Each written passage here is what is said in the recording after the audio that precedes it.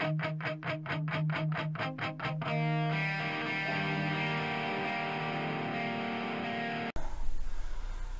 hello, how you doing? Okay, it's been a while. Hope all is well. Um, a long time since I fronted a video, has to be said. Over three years, but uh, here we are. Uh, so some Amstrad and Amiga pickups from over the last couple of years, to be honest. So um, without further ado, we'll get on with it because I'm going to probably whiz through these. Don't want to go on too long. First one then, uh, it's an absolutely ancient game, 1984, 85, and must be one of the first um, Ocean games released for the Amstrad, Ocean Software, a great software house. Anyway, without further ado, Gilligan's Gold. Um, this is like um, a platform of sorts, a bit similar in ways to like Chuckie Egg for example. Uh, what you do, you run around the screen, up ladders and stuff like that, collect the gold, chuck it into a wheelbarrow, and uh, once you collect all the gold on the screen, you move on to the next screen, and um, do the same again. I think only a few screens. You've got bad guys to avoid, and it's all against the time limit as well. Every time you get a gold in the wheelbarrow, you get extra time. Stuff like that. It's good fun, very simple, simple graphics, very simple sound. Obviously, got a sound done it mid 80s, um, but a really good game to play. So there you go. Uh, so we go from one extreme to the other, and this game came out in 2011, and it's fantastic. It really is. So I haven't played it, but I've seen it on YouTube. Uh, further ado again, Sub Hunter. Um, 25 levels of subaquatic blast in action. I don't know what's going to come out. It's like, let's see the screens there.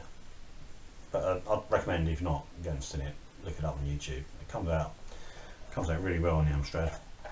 There we go, inside. Hey, uh, yeah, really colourful palette scrolling stuff like that. And, uh, I don't know what it is. I love these clamshell cases. I was like them back in the day. Recommend that one. A couple of compilations for the CPC. The first one on the Amiga. This is a fantastic compilation. On the Amstrad, well, I think you put in a buy for really one game. Uh, maximum Action Extra. So you've got Turrican 2, Saint Dragon, Swiv, and Night Shift.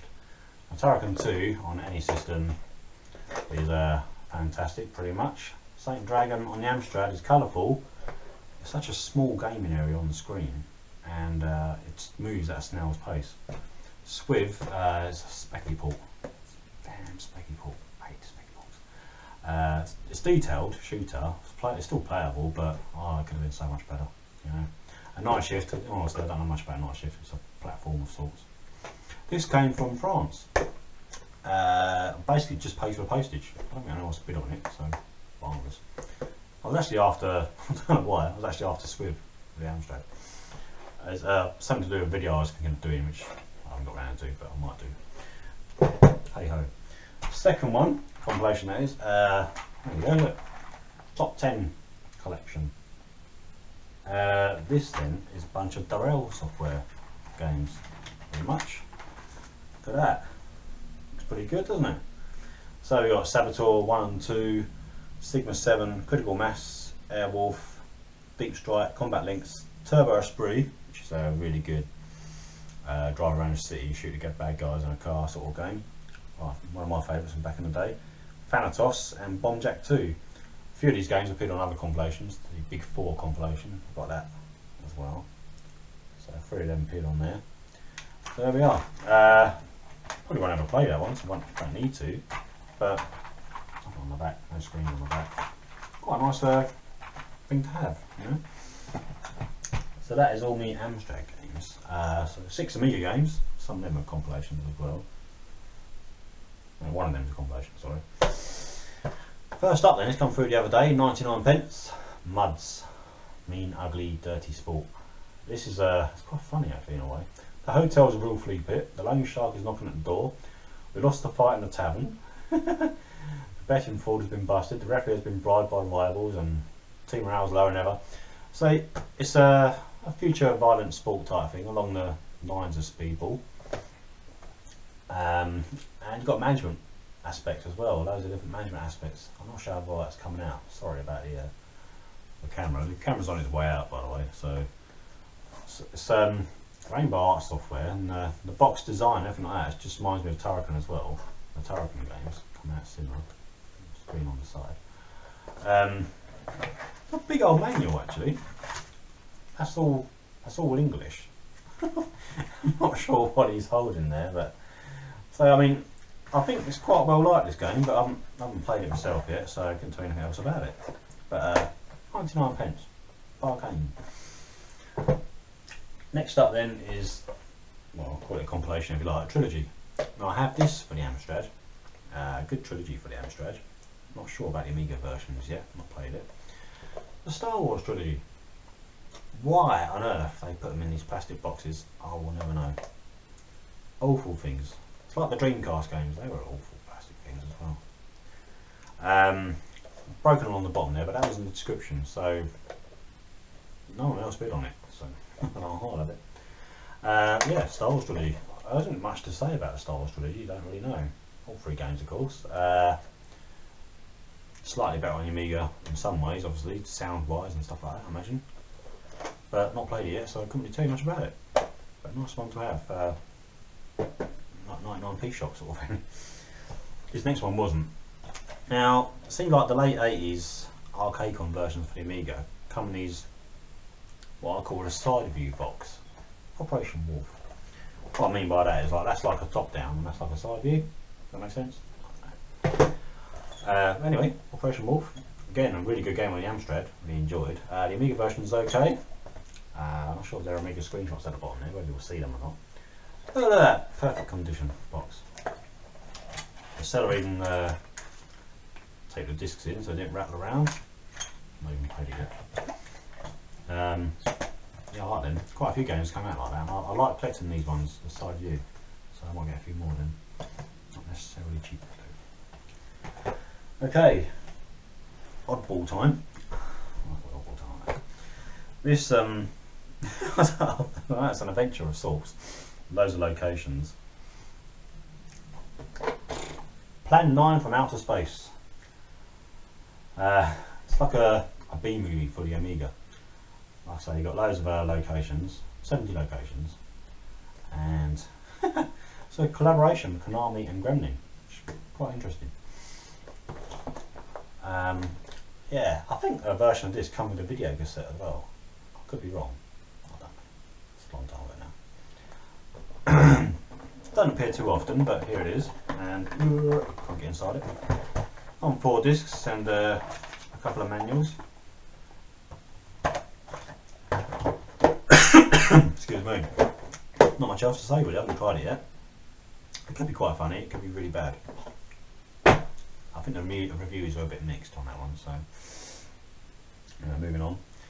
Uh, one of my recent videos was uh, my Psygnosis big box pickups, uh, just pickups, not necessarily big box, but um, it occurred to me I'd like quite a few. I'm not actually collecting the uh, the range for the Amiga, so it's like 70 odd games, but I'm not not against picking them up when uh, they're coming on quite cheap, like this one, Armageddon. Uh, I think there was a sequel as well to Armageddon. This is a, a flight steering stroke shooter filled in polygons pretty good, I think, for its day. Um, not um, overly my sort of thing. But this is like the golden age of Psygnosis, where it come in the, the box like that as well, you know. Class presentation, but maybe cost too much is why they changed it, who knows. But uh, yes, Armageddon. I think it makes 22 out of 70. but I'm not, not collecting them, not collecting them. Oh, so apparently the camera shut off, so uh, it stopped recording. So the end of that video wasn't end of the video. I don't know. So you didn't get to see the last game basically. So without further ado, um, coming back to that Psygnosis uh, edition video I did. I uh, also showed a game called Red Zone, which is a polygon bike racer. Looks pretty good. Uh, at least the, screen, the screens look pretty good, but um, it didn't quite pull it. They didn't quite pull it off apparently. Yeah, according to reviews and that. I haven't actually played it, so um, but probably less than a year after that, another one come out, which I'm probably sure you're aware of. No second prize. Um, Thalion Software, which knew how to get the most out of the Amiga, they did. You look at uh, Lionheart, for example, the platform hack and slash plus flying sections, fantastic. Really, really, good. It's good. Uh, yeah, so there's the back. You might just be able to see the screens here. Um, this is apparently how you do do a Polygon race on your Amiga. I'm going to show you inside the box because I can't get open.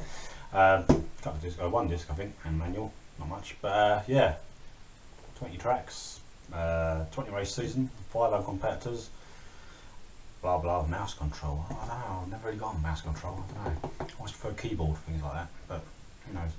But that's how you do it apparently, so there we go.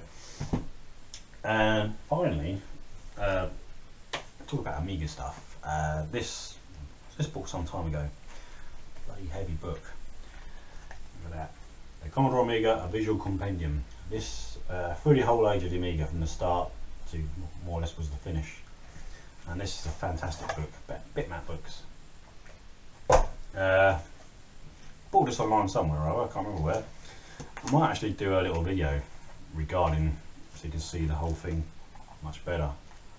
Uh, fantastic, really enjoyable. Uh, it says something about, someone mentions about something each page, you know, making the game or whatever it was. Um, no idea what I'm showing you, but you can see it. Uh, fantastic book. Uh, really recommend if you've got your the Amiga. Definitely something worth getting. So there we go. Bitmap books. Anyhow, so that's the uh, most of the Amiga pickups and stuff like that.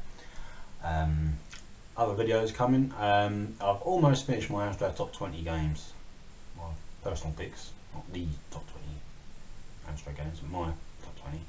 And I've also done a video, which is complete, uh, my top 10 budget Amstrad games, which is quite good.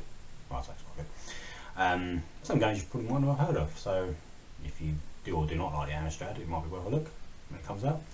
That shouldn't be long. Uh, what else got coming out? I don't know really. we'll see what else I'll do.